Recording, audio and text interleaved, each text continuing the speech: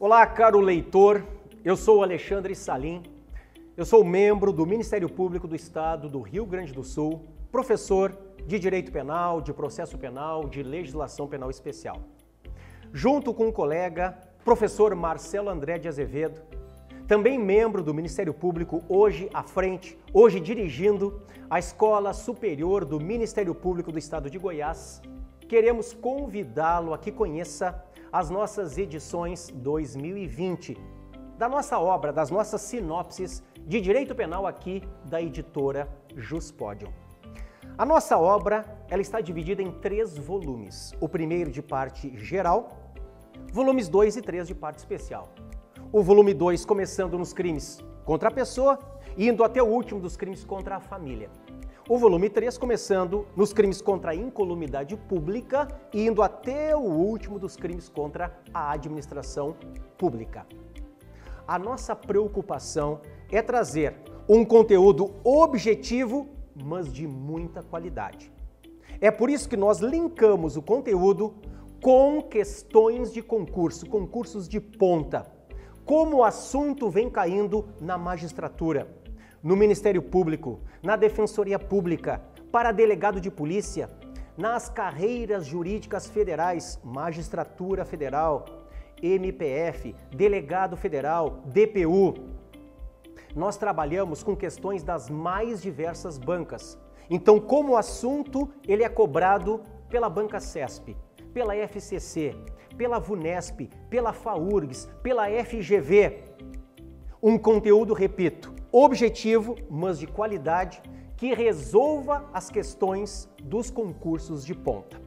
Então, linkando com concursos e linkando com jurisprudência atualizada dos tribunais superiores.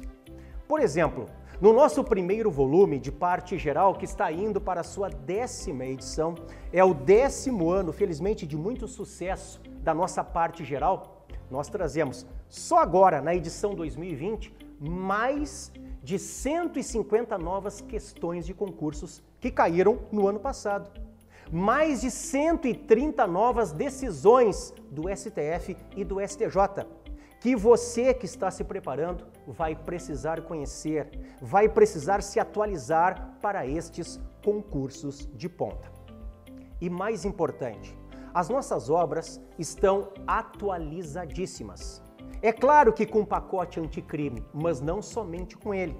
Estão atualizadas, dentre outras leis, com a nova lei de abuso de autoridade, a Lei 13869 de 2019. Ela é importante no volume 1, ela é importante no volume 2 e ela é importante no volume 3. Por que, que ela é importante no volume 1?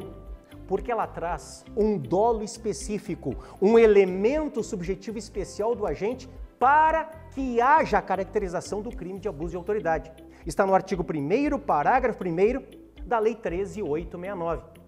Então, só haverá abuso de autoridade se o agente praticar aquele comportamento para, ou seja, com a finalidade especial de buscar uma vantagem para si mesmo, uma vantagem para terceiro, prejudicar alguém por mero capricho ou para satisfação pessoal. E nós trabalhamos o dolo, seja o dolo genérico, seja o específico, o elemento subjetivo especial do tipo, no primeiro volume. No segundo volume, nós trabalhamos a questão da revogação do parágrafo 2 do artigo 150, violação de domicílio, pela nova lei de abuso de autoridade. No volume terceiro, nós trabalhamos a revogação de todo o artigo 350, pela nova lei de abuso de autoridade. Outro exemplo, as nossas obras estão atualizadas a partir da Lei 13968 de 2019. A lei que fala da incitação ao suicídio e à automutilação. Até a edição desta lei, prevalecia a corrente que não admitia tentativa do crime de participação em suicídio, o crime do artigo 122 do Código Penal. Pois a partir da alteração nós trazemos toda uma justificativa no sentido de que agora cabe sim tentativa no crime de incitação ao suicídio, trazendo também a novidade que é a incitação à automutilação, por exemplo, naquele jogo perverso, naquele jogo que muitas vezes conduz ao suicídio, chamado de baleia azul. Nós vamos ver que hoje existe tipificação própria no 122. E claro, as nossas obras estão atualizadas a partir do pacote anticrime, que é uma lei federal, a Lei 13964 de 2019. Esta lei, ela entra em vigor no dia 23 de janeiro de 2020 e ela traz diversas alterações para o nosso direito penal. Ela cria um parágrafo único ao artigo 25. Então você tem que estudar, está lá no nosso livro, no primeiro volume, a questão da legítima defesa por parte de agente da segurança pública. Nós tivemos alteração ao artigo 51 que fala da pena de multa.